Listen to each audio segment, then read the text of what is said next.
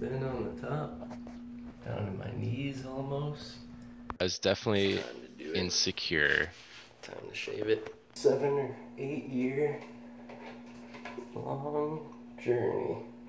Time to shave it. Dude, eight years. Those were some pretty, pretty serious dreads, man. Tell me about that. Yeah, man. Yeah, it's true. They they had, were growing for so long.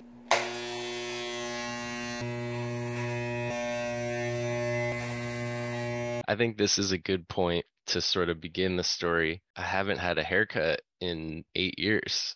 I had started some dreadlocks like a million years ago and they just kept growing and growing. And I think around like three or four or so years into them growing, my hair started like thinning. I was actually touring with a band on the road for like 14 days. Like at this time, I still had like a lot of hair, no like obvious bald spots or anything, but uh, noticing like one of the roots of one of the dreadlocks is like so thin. I was like, what? How does this happen? Like, why is it so thin by the root? Like, this thing could like snap off. Like, what the heck? That was like the first time it sort of entered my mind is like, huh, like, I guess it must be falling out like from the root. Like, that's weird. Excuses sort of thing. Like, oh, you wear a hat too much, or oh, it just looks funny from this angle. For me, I was constantly getting that, oh, your hair's falling out because your dreads, like, oh, the weight of your hair is Mm. like pulling it and this and that. And in the back of my mind, I knew like all my grandparents have been bald. My dad is bald. I was like, this is probably something I'm gonna have to face at some point. At this time, I think I was like 25, 26, maybe. Right. I just didn't know what to make of it. At the time, like my partner who I was living with, they were like, yeah, your hair is everywhere, all over the apartment. I was like, oh yeah, people, you know, hair shedding and whatever. Like it Yeah. still wasn't very obvious to me that hair was falling out. From that point on, that was the entrance of the confrontation of like, okay, what exactly is happening up here? I don't really know. That sort of led me to to jump ahead several years and coming to terms with like, yeah, I can like feel some skin up here, you know, like starting to kind of feel funny, asking closer friends like all right like how bald am i actually? Like what's going on in that moment that first time where you like take a picture of the top of your head or like somehow you know look into the mirror and be like oh like, i guess it is sort of going now isn't it? I tried rogaine for like a month. It was just an absolute pain and i was like this isn't even going to make any sense. Like at that point my hair had been like eight years of growth. I was like if i'm starting Mm. over from the scalp like there's no way that that's gonna work that basically brings me to y'all's channel Alright, here I am. Some hair. Down to my knees almost. Looking real shitty and looking real thin on the top.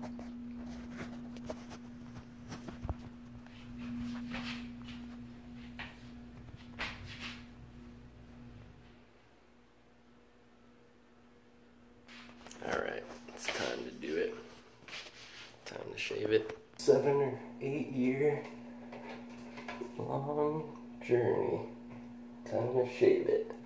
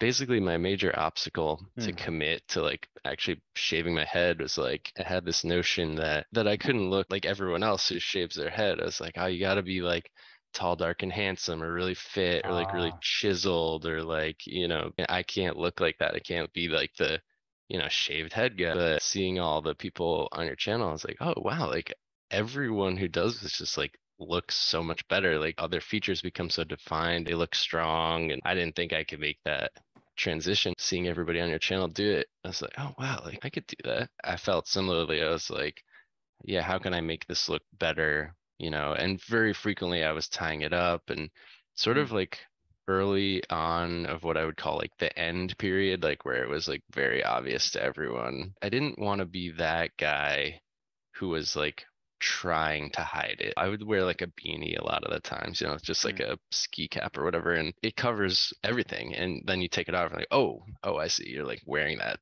to hide that. And I didn't really want to deal with that at all. I took like the opposite approach. Like as it was starting to go, I did like everything in my power to not hide it at all. Like Mm. I looked better with a hat on, but I would just very intentionally not. Either way, you're perceived as someone who's like losing their hair, right? So Mm. it really it doesn't matter what approach you go. I think it's called diffusion, right? Is Mm, that yeah, yeah. like as that really started, it was just like as I was tying it back, it would get real tight along the scalp, and you just see these long strips of like. Mm. I was definitely insecure. You know, anytime I'd be like bending down or like exposing the top of my head, I would feel like I don't look good. And I'm 31 now. Like I was like, am I having a hard time becoming 30? You know, that sort of thing. Just feeling like, who am I trying to pretend to be? All of that kind of stuff. To be perfectly honest, in between certain periods of my life where I was single, thinking like, you know, if I meet up with anyone, hook up with anyone, like they're gonna see a totally different side of my head, you know, at some point. That's sort of an embarrassing realization to have, you know, if it's hidden and then you become attracted and someone's attracted to you and then it's a mm. reveal you know it's like oh Yeah. so i was very insecure about like trying to date or trying to talk to anyone like that where that awkward reveal you know I want to ask you then about getting to the moment where you were like, I'm done. Let's let this go. I definitely would say it's a combination of both inspirations, feeling like I don't like having to deal with this. So let me change it. I was inspired mm. seeing all the people who have done it, the transformative feeling of, you know, just like when you engage a change, like you are a different person. I think it Mhm. was someone watched uh, on your channel, it was like a physical trainer or something. That was it. It begets other positive transformations. Like you take control of this scenario that you don't have control of. You do the change that you've been sort of waiting to do. And then from that point on, like it's inspiring. I suffer with depression and stuff. And like making a change like this is definitely like manifested other ways of like taking better care of myself and sort of like being inspired. Like, oh yeah, I could just do this, like just change it. You know, that's sort of the the way I was motivated. I definitely had decent support. People I would talk to about it, like, oh yeah, you're gonna look fine, you're gonna look great with it, like that. And you know, having other like sort of catalysts that were helping me go along with it. And mm. I probably talked about it for like three weeks, kept sort of putting it off. I was like, I'm gonna do it this night, or I'm gonna do it this night, or you know, that sort of thing. But then uh, woke up one day and was ready to do it, and just didn't get in my own way. I was like, all right, I'm doing it. I remember seeing a couple of videos on your page too. Is like, you know, typically they start with the guard on and then Mm. go from like what, like a four, three, two, one. I was like, I'm not gonna do that. And then as soon as I started, like, okay, six, put six on, and it was like started with that. And then uh, I don't know if you see I the whole video, it. but there's Yeah. there's so many troubleshooting that, yeah. problems. Yeah, so I did the exact thing I didn't think I would. I, I literally went so many different guard sizes down all the way to one. By the time I hit one, I feel like I came back into myself like, oh, nice, this worked out really well. Um, with that said, there's so many ways that I have sort of delayed the inevitable because my longest dread it Mm. was like three that sort of like tree trunked down into one big one in the back of my head. And I think in the video that's I cut that one off specifically towards the end and hold it up. It's like super long, but Mm. uh I was like rationalizing in my head, like keeping that one, like shaving everything else, having this like kind of radical weirdo haircut. But uh, ultimately I just cut that off too. I think it was just like ways to prolong the inevitable. Have you been out there to show it off and, and meet people? Yeah, yeah, actually I have. I was so excited, in fact, to like show the people. I'm a part-time student and I work in a coffee shop and, you know, I have a ton yeah. of regulars and stuff. And that gave me like a little bit of anxiety, but also not. And I've been telling them I was going to do it for forever. So I was really excited just like get back out there and show them I did it, get their response. They all loved it. It feels good. It feels really good to get back out and just see everybody. And they all get it too. They're like, nice. As far as like a send off and like anybody who sees this and can relate to it, I would say go for it. Really, like you'd be surprised that it's going to pretty much work for you. Like it, I know everyone has their apprehensions for different reasons about like whether or not they look good with like super short hair or bald or whatever, but it feels so good. Like you'd be surprised like how adaptable your look is. I didn't think I would look good like this, but I'm so happy with it. And the list goes on and on and on. Honestly, like having short hair is so nice. Like I can feel everything so much easier and like move my head around. My hair's not getting in my way. Like showering so easy. A ton of reasons to do it, even beyond like looking better. I, for the longest time, doubted that I could do it, and then I did it, and I'm so happy. Appreciate you, dude. You too, man. Right back at you.